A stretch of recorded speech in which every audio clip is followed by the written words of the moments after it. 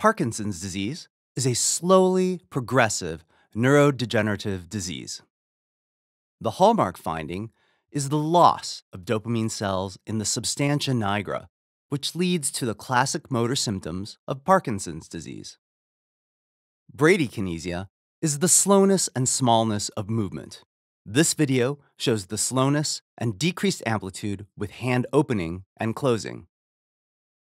Another classic symptom is rigidity, or stiffness that's felt with passive motion of joints by an examiner.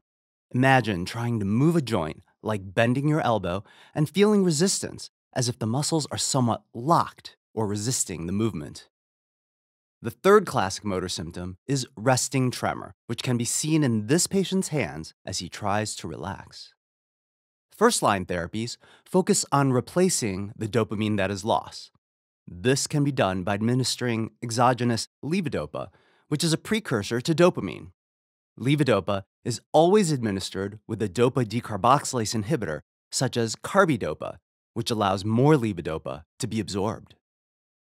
Levodopa is swallowed and then absorbed in the small intestine. It moves through peripheral tissues and crosses the blood brain barrier. After entering the brain, levodopa is broken down into dopamine and then released like the endogenous neurotransmitter. Another first line therapy is dopamine agonists. Just like how dopamine, released into the synapse, activates dopamine receptors, these agonists mimic dopamine when they turn on the dopamine receptor. These two classes of drugs are initially very effective for treating the motor symptoms of Parkinson's disease. However, as patients enter the middle stages, three to five years after diagnosis, they become less effective. Let's take a closer look at this. Here's a graph showing the effectiveness of levodopa over time from early stage to advanced stage Parkinson's disease with the dopamine level on the y axis and time on the x axis. Initially, levodopa is very effective. After taking levodopa, the level of dopamine will increase until it's at the level needed to help the patient feel like they can get up and move around. Throughout the night, the medications wear off, and by morning, the level of dopamine is at the lowest. The patient takes the next dose and the medication starts working right away. So patients spend most of their time in the on state, which is when their medications are working.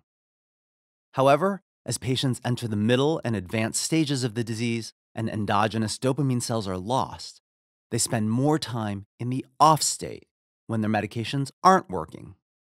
Patients begin to notice that their medications wear off and their symptoms return before the next dose, it also takes time for the medications to kick in.